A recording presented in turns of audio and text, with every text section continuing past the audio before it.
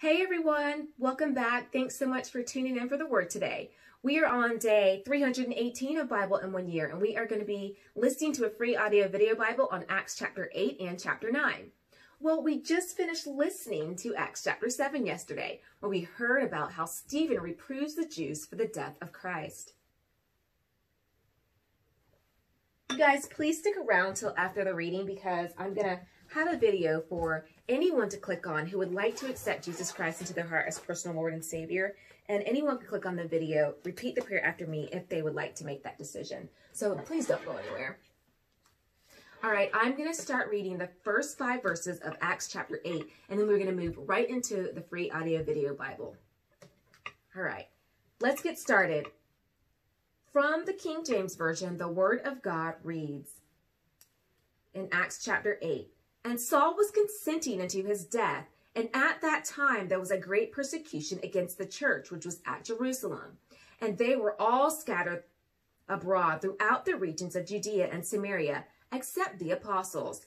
And devout men carried Stephen to his burial, and made great lamentation over him. As for Saul, he made havoc of the church, entering into every house, and hauling men and women, committed them to prison. Therefore, they that were scattered abroad went everywhere preaching the word. Then Philip went down to the city of Samaria and preached Christ unto them. And the people with one accord gave heed unto those things which Philip spake, hearing and seeing the miracles which he did. For unclean spirits, crying with loud voice, came out of many that were possessed with them. And many taken with palsies, and that were lame, were healed. And there was great joy in that city.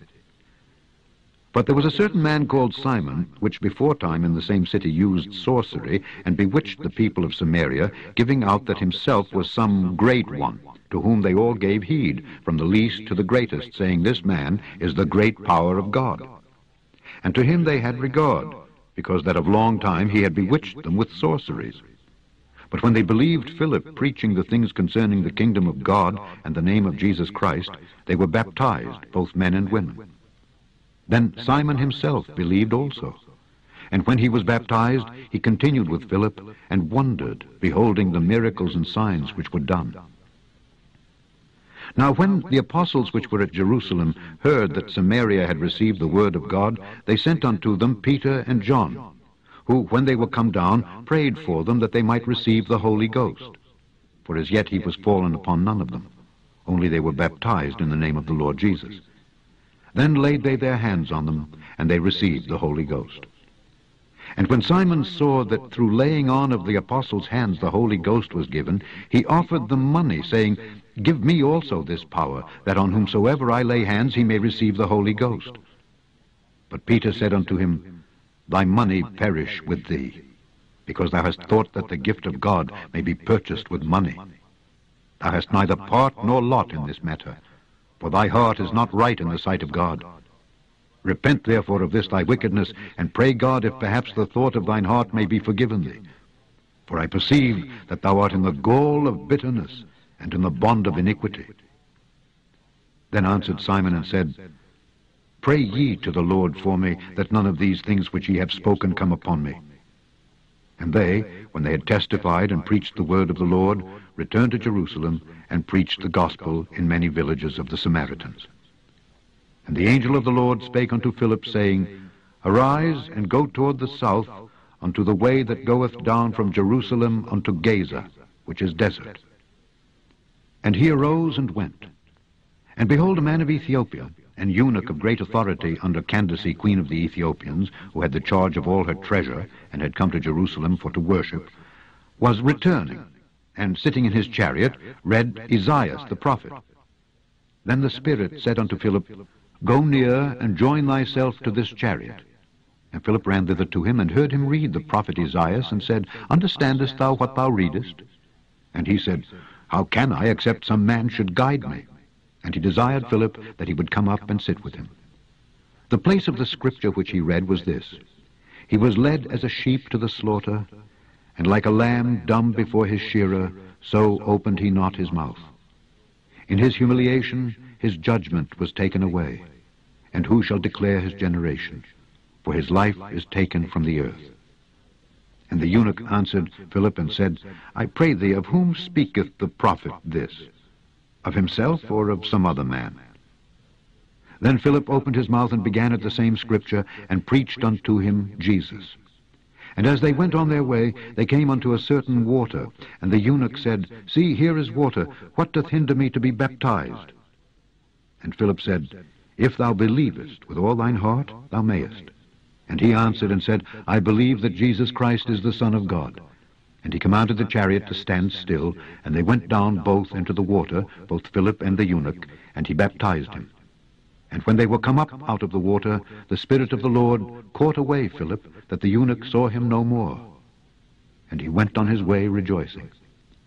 But Philip was found at Azotus, and passing through, he preached in all the cities till he came to Caesarea.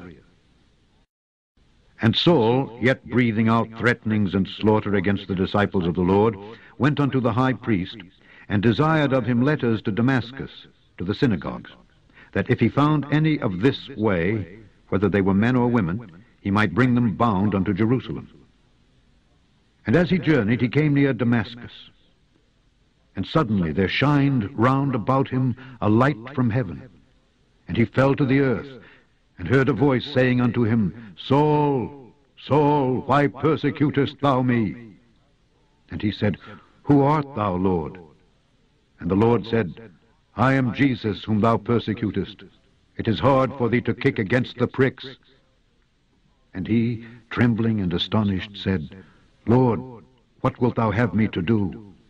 And the Lord said unto him, Arise and go into the city, and it shall be told thee what thou must do. And the men which journeyed with him stood speechless, hearing a voice, but seeing no man. And Saul arose from the earth, and when his eyes were opened, he saw no man. But they led him by the hand and brought him into Damascus. And he was three days without sight, and neither did eat nor drink. And there was a certain disciple at Damascus named Ananias. And to him said the Lord in a vision, Ananias? And he said, Behold, I am here, Lord. And the Lord said unto him, Arise and go into the street which is called Straight, and inquire in the house of Judas for one called Saul of Tarsus. For behold, he prayeth, and hath seen in a vision a man named Ananias coming in and putting his hand on him, that he might receive his sight. Then Ananias answered, Lord, I have heard by many of this man how much evil he hath done to thy saints at Jerusalem. And here he hath authority from the chief priests to bind all that call on thy name. But the Lord said unto him, Go thy way, for he is a chosen vessel unto me to bear my name before the Gentiles and kings and the children of Israel. For I will show him how great things he must suffer for my name's sake. And Ananias went his way, and entered into the house, and putting his hands on him said, Brother Saul, the Lord, even Jesus that appeared unto thee in the way as thou camest, hath sent me, that thou mightest receive thy sight, and be filled with the Holy Ghost. And immediately there fell from his eyes as it had been scales, and he received sight forthwith, and arose, and was baptized. And when he had received meat, he was strengthened. Then was Saul certain days with the disciples which were at Damascus. And straightway he preached Christ in the synagogues, that he is the Son of God.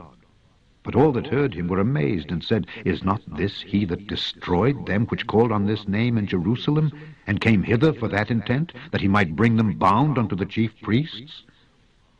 But Saul increased the more in strength, and confounded the Jews which dwelt at Damascus, proving that this is very Christ. And after that many days were fulfilled, the Jews took counsel to kill him. But their laying await was known of Saul. And they watched the gates day and night to kill him. Then the disciples took him by night, and let him down by the wall in a basket. And when Saul was come to Jerusalem, he essayed to join himself to the disciples, but they were all afraid of him, and believed not that he was a disciple. But Barnabas took him, and brought him to the apostles, and declared unto them how he had seen the Lord in the way, and that he had spoken to him, and how he had preached boldly at Damascus in the name of Jesus. And he was with them, coming in and going out at Jerusalem. And he spake boldly in the name of the Lord Jesus, and disputed against the Grecians. But they went about to slay him. Which when the brethren knew, they brought him down to Caesarea, and sent him forth to Tarsus. Then had the churches rest throughout all Judea and Galilee and Samaria, and were edified, and walking in the fear of the Lord and in the comfort of the Holy Ghost were multiplied. And it came to pass, as Peter passed throughout all quarters, he came down also to the saints which dwelt at Lydda. And there he found a certain man named Aeneas, which had kept his bed eight years, and was sick of the palsy. And Peter said unto him, Aeneas, Jesus Christ maketh thee whole. Arise and make thy bed. And he arose immediately. And all that dwelt at Lydda and Saron saw him and turned to the Lord. Now there was at Joppa a certain disciple named Tabitha, which by interpretation is called Dorcas. This woman was full of good works and alms deeds which she did. And it came to pass in those days that she was sick and died whom when they had washed, they laid her in an upper chamber. And forasmuch as Lydda was nigh to Joppa, and the disciples had heard that Peter was there, they sent unto him two men, desiring him that he would not delay to come to them. Then Peter arose and went with them. When he was come, they brought him into the upper chamber, and all the widows stood by him weeping, and showing the coats and garments which Dorcas made while she was with them. But Peter put them all forth, and kneeled down and prayed. And turning him to the body said, Tabitha, arise. And she opened her eyes. And when she saw Peter, she sat up. And he gave her his hand and lifted her up. And when he had called the saints and widows, presented her alive. And it was known throughout all Joppa, and many believed in the Lord. And it came to pass that he tarried many days in Joppa with one Simon, a tanner.